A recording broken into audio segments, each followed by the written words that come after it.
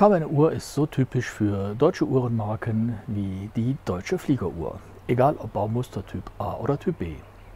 In diesem Video zeige ich euch fünf deutsche Fliegeruhren, die jeweils weniger als 1000 Euro kosten.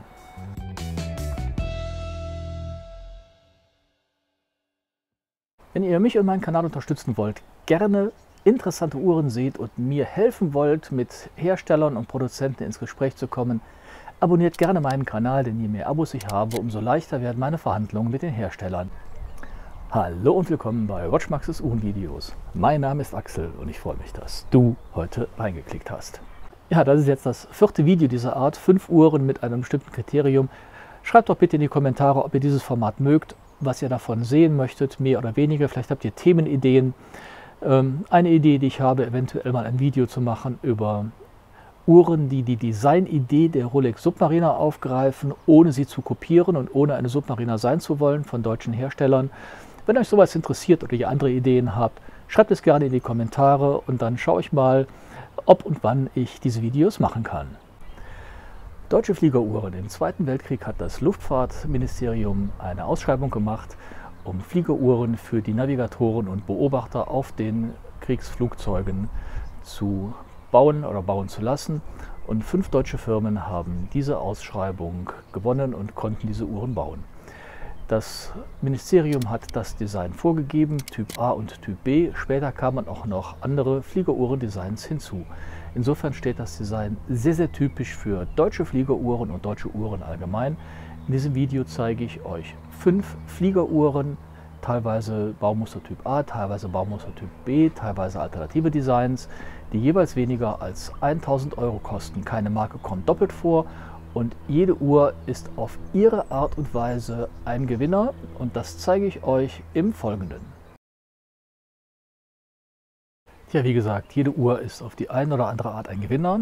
Und die erste Uhr, die ich euch zeige, da ich die Uhren nach dem Preis sortiert habe, ist ganz eindeutig der Preissieger.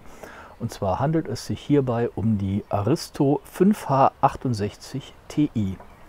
Ti steht für Titan und hier zeigt sich schon der erste große Punkt. Die Uhr ist tatsächlich in einem Titangehäuse untergebracht. Und das finde ich angesichts des Preises von 515 Euro mit Mineralglas bzw. 565 Euro mit Saphirglas sehr bemerkenswert. Die Uhr hat einen Durchmesser von 40,8 mm und eine Höhe von 11,1 mm. Der Bandanstoß beträgt 20 mm und die Uhr ist wie vier von den fünf Fliegeruhren, die ich euch heute vorstelle, 5 Bar, das heißt 50 Meter wasserdicht. Das Titan ist sandgestrahlt und entspricht damit den äh, ursprünglichen Spezifikationen einer Fliegeruhr, die so gut wie keine Reflexionen haben sollte damit sie nicht vom Fliegen und von den Tätigkeiten an Bord ablenkt. Die Zeiger und die Ziffern sind mit Superlum Superluminova belegt und der, die Rückseite ist ein verschraubter Stahlboden. Als Werk verbaut ist das ETA 2824-2 und äh, trotz des Preises und des Schweizer Werkes ähm, steht ein Made in Germany auf dem Blatt, was ich umso bemerkenswerter finde, weil es ist kein billiges Werk verbaut, es ist kein äh, chinesisches Werk verbaut und ein Großteil der Wertschöpfungskette findet in Deutschland statt und trotzdem wird die Uhr im Titangehäuse mit Saphirglas und einem Qualitätswerk für unter 600 Euro angeboten. Ja, was mir bei der Uhr aufgefallen ist, vom Produktfoto her sieht es so aus, als hätten die Markierungen und die Zeiger einen leicht unterschiedlichen Farbton. Ähm, mir persönlich würde das nicht so gut gefallen. Vielleicht ist es aber auch nur ein, ein schlecht aufgenommenes Bild. Ich habe die Uhr in real nicht vorliegen, deswegen kann ich das nicht validieren. Was mir aber auf keinen Fall gefällt, und das lässt sich auch nicht schönreden, das Datum finde ich zu nah an die 3 auf der 3 Uhr Markierung gekletscht. Ein bisschen mehr Abstand oder kein Datum hätte ich, hätte ich hier wesentlich besser gefunden. Ähm, was mir hingegen sehr, sehr gut gefällt, ist das unaufdringliche Logo. Aristo ist sehr zurückgenommen und prägt nicht das Ziffernblatt und ist trotzdem zu sehen. Mir gefällt das, diese großen fetten Logos, die sich so aufdrängen, finde ich nicht so gut. Was ebenfalls nicht typisch für eine Fliegeruhr ist, ist die Krone. Das sieht mir nach einer ähm, Standardkrone aus, die aus einem Baukasten genommen worden ist. Aber ich denke, angesichts des Preises lässt sich das eindeutig verschmerzen. Die nächste Uhr in diesem Video ist die Stova Icarus und das ist mein persönlicher Preis-Leistungssieger. Oben rechts unter dem i habe ich euch ein volles Review der Stova Icarus verlinkt, aber ich fand, sie war es wert, noch einmal gezeigt zu werden, denn hier finde ich das Preis-Leistungs-Verhältnis ausgesprochen gut. Die Uhr kommt in einem Gehäuse mit einem Durchmesser von 40 mm und einer Höhe von 10,2 mm. Wie die meisten anderen Fliegeruhren auch, ist sie nur 5 bar wasserdicht und kostet in der einfachen Ausführung, das heißt nicht der temperaturgebläute Zeiger und nicht das Top-Grade ETA-Werk, 740 Euro. Der Bandanstoß beträgt 20 mm und der Abstand Horn zu Horn beträgt 48,6 mm und damit ist die Uhr auch an etwas kleineren Handgelenken gut tragbar. Ohne Band wiegt die Uhr 70 Gramm und mit Lederband 120 Gramm. Das Werk, wie gesagt, ist ein ETA-Werk und in der einfachen Ausführung ist es das ähm, Standardbasiswerk 2824. Das Gehäuse ist handgebürstet. In dieser Preisklasse glaube ich keine Selbstverständlichkeit. Und das Glas ist ein Saphirglas wie man mittlerweile wohl als Standard bei den meisten Uhren erwarten kann. Das absolute Highlight dieser Uhr ist das rhodiumbeschichtete Ziffernblatt, was je nach Lichteinfall funkelt und einen herrlichen Lichteffekt erzeugt. Aber auch das habe ich euch in dem oben rechts verlinkten Video einmal im Detail gezeigt. Bei dieser Uhr gibt es verschiedene Aufpreisoptionen. Man kann für 50 Euro temperaturgebläute Zeiger verbauen lassen.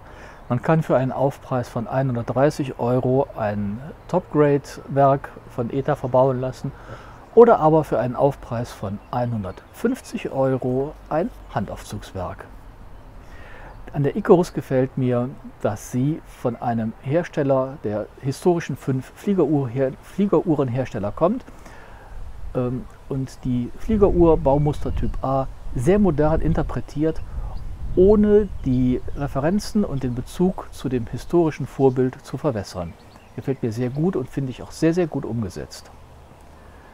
Die Uhr hat eine extrem gute Leuchtmasse, leuchtet lange und hell in der Nacht und ist damit auch für Menschen, die nachts mal aufwachen und die Uhrzeit brauchen, sehr gut geeignet.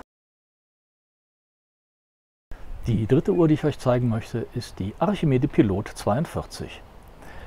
Mit einem Preis von 820 Euro ist sie für mich der Preis-Leistungssieger, wenn es darum geht, möglichst nah an das originale Vorbild des äh, Baumustertyps A zu kommen. Die Uhr hat einen Durchmesser von 42 mm und eine Bauhöhe von 9,8 mm.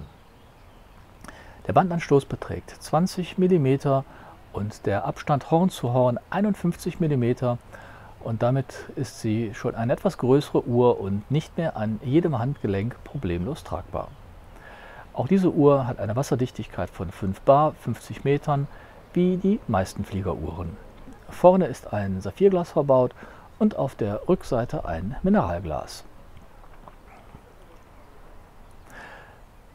Die Zeiger sind bei Ikler im Hause temperaturgebläut und die Leuchtkraft ist überwältigend, sehr hell, sehr lang anhaltend und nach meiner Einschätzung eine der am besten leuchtenden Uhren in dieser kleinen Vorstellung. Die Uhr hat die typische Zwiebelkrone und passt wunderbar in das Fliegerdesign, entspricht den historischen Vorgaben, ebenso wie die Tatsache, dass die Uhr kein Logo auf dem Ziffernblatt hat, auch das ist Teil der historischen Spezifikationen für Fliegeruhren. Das Gehäuse ist von Eckler im Hause gemacht, passt natürlich in die Historie der Fliegeruhren. Insofern ist hier der Gestaltungsspielraum relativ gering, aber wenn man genau hinschaut, erkennt man die eine oder andere Besonderheit, die ich jetzt an dem einfachen Produktfoto nicht zeigen kann. Aber damit die Uhren vergleichbar werden und auch vergleichbar bleiben, zeige ich immer nur die Produktfotos, aber diese Uhr hat, wenn man sie in real schaut, definitiv etwas Besonderes. Ich habe diese Uhr als Bronze-Version schon einmal reviewed. Auch das könnt ihr oben rechts unter dem i euch einmal im Detail anschauen. Die vierte Uhr in dieser kurzen Vorstellung ist die SIN 556A. Die SIN 556A am Lederband hat aktuell einen Preis von 960 Euro und ist keine Fliegeruhr im Stile der Fliegeruhren ähm, Baumustertyp A oder B, aber das Ziffernblatt und die Zahlengestaltung lehnt sich sehr stark an an die Instrumente in den Flugzeugen, insofern eindeutig erkennbar als Fliegeruhr und von Sinn auch als solche durchaus vermarktet. Die Uhr hat einen Durchmesser von 38,5 mm und eine Bauhöhe von 11 mm. Der Bandanstoß beträgt 20 mm und sie wiegt ohne Band 65 Gramm. Dies ist die einzige Uhr in dieser Vorstellung mit einer Wasserdichtigkeit von 200 Metern und damit komme ich dann auch zu dem Punkt, der diese Uhr für mich zu einem Gewinner macht. Und zwar ist diese Uhr für mich der Gewinner im Hinblick auf unterschiedliche Einsatzzwecke. An verschiedenen Bändern lässt sich die Uhr etwas edler gestalten, etwas sportlicher gestalten.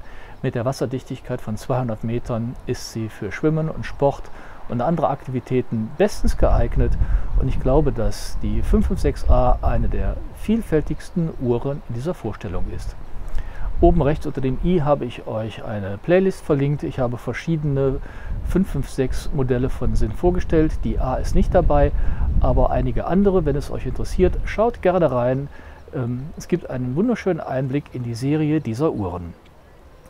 Die Uhr hat auf der Vorder- und Rückseite ein Saphirglas verbaut und wird angetrieben durch ein Selita SW 200-1. Das Gehäuse ist gebürstet und die Leuchtkraft ist langanhaltend, wenn auch nicht extrem hell. So, die letzte Uhr in meinem kleinen Review heute ist die Laco Leipzig aus der Serie Laco Originals zum Preis von 980 Euro. Die Serie Laco Originals baut Fliegeruhren, die versuchen möglichst nah an die Originalspezifikationen der ursprünglichen Fliegeruhren zu kommen und Laco hat hier einen Bezug, denn Laco ist einer der fünf Hersteller, die die historischen Fliegeruhren in den 40er Jahren gebaut haben. Die Uhr hat einen Durchmesser von 42 mm und ist 12,8 mm dick. Wie die meisten anderen Fliegeruhren hat sie eine Wasserdichtigkeit von 5 bar, entsprechend 50 Metern, einen Bandanstoß von 20 mm und einen Horn-zu-Horn-Abstand von 50 mm. Die Uhr wiegt mit Lederband 91 Gramm. Auf den Markern und auf den Zeigern ist Superluminova C3 und die Zeiger sind temperaturgebläut. Auch das entspricht den Vorgaben von den historischen Fliegeruhren. Das Saphirglas ist leicht gewölbt und entspiegelt. Diese Uhr wird durch ein Handaufzugswerk angetrieben. Laco bezeichnet es als Laco 01. Die Basis hierfür ist ein ETA 2801.2 in der Elaboré-Version. Das Gehäuse ist sandgestrahlt, das entspricht den ursprünglichen Vorgaben. Keine Reflexionen auf dem Gehäuse. Dadurch wirkt es etwas dunkler und ein ja, ein bisschen älter, ein bisschen antiker. Mir gefällt das sehr gut und die gesamte Serie der Laco Originals ist in diesem Design gehalten. Die Uhr entspricht dem Baumuster Typ B mit dem vergleichsweise kurzen Stundenzeiger, der den inneren Stundenkreis abläuft und dem langen Minutenzeiger zur genauen Messung von Minutenintervallen. Die Uhr ist sehr nah an den historischen Spezifikationen, abgesehen von der Größe. Hier ist die Größe auf ein zeitgemäßes Maß herunterskaliert worden. Die Uhr ist für mich, ähm, da ich ja nur fünf Gewinner in diesem Review habe, ganz klar der Gewinner, wenn es darum geht, einen Bezug zu den historischen Spezifikationen des Baumusters Typ B herzustellen. Ja, ich hoffe, euch hat dieses kleine Video gefallen. Falls ja, lasst gerne ein Abo da und bitte schreibt mir auch in die Kommentare, welche Ideen ihr für Reviews dieser Art habt, was ihr vielleicht noch sehen möchtet, äh, was euch gefällt, was euch nicht gefällt. Eine Idee wäre zum Beispiel einmal Uhren deutscher Hersteller zu zeigen, die die, die, die Designidee der Rolex Submariner aufgreifen. Wenn ihr euch sowas interessiert oder das sehen möchtet, lasst gerne einen Kommentar da. Und bis dahin, tschüss, euer Axel.